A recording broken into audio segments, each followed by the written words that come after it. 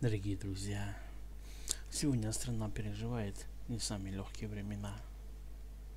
Нам стало известно о том, что сегодня на 71 году ушел из жизни известный российский актер, советский композитор, театральный режиссер Валерий Гришко. Об этом сообщили его родные. Он родился в Донецке в 1951 году Окончил Ленинградский государственный институт культуры и режиссерский факультет в Ленинградский государственный институт театра и музыки. Работал в академическом театре в Ленинграде.